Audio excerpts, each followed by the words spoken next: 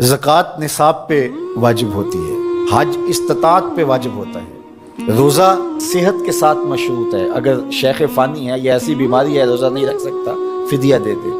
मुसाफिर को छूट है, बीमार को छूट है कि वो दीगर अयाम में उसकी गजा कर ले। लेकिन नमाज़ की छूट नहीं है।